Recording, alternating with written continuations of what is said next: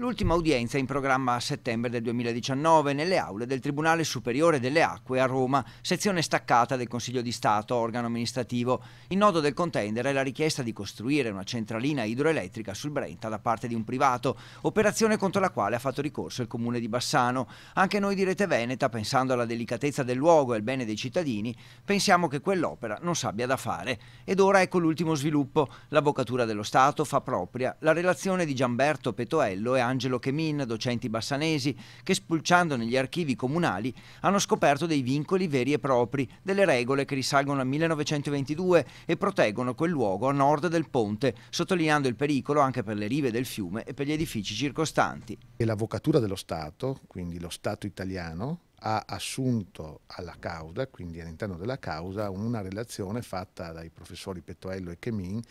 che evidenziano come quell'area fosse già vincolata dal 1922 e quindi un'area degna di tutela, quindi che non può giustificare eh, costruzioni di quel tipo. In sostanza i docenti hanno portato la loro relazione in comune, l'amministrazione l'ha inviata al Ministero che ha coinvolto l'Avvocatura dello Stato che manda un messaggio al giudice che dovrà decidere a settembre chiedendo di tenere conto della relazione di Petoello e Chemin sicuramente certifica che l'amministrazione comunale ha fatto bene a opporsi a quell'opera e, e perché non è solo una presa di posizione dell'amministrazione comunale ma anche lo Stato italiano, quindi l'avvocato dello Stato italiano del Ministero per i beni culturali ha, ha detto che abbiamo fatto bene ad opporci a questo tipo di iniziativa. Ora ovviamente sarà il giudice in piena autonomia che prenderà la decisione finale. La speranza è che tenga conto della volontà di proteggere il Torrione, i mulini di Bassano, via Pusterla dai potenziali pericoli pericoli, i bassanesi intanto rimangono col fiato sospeso.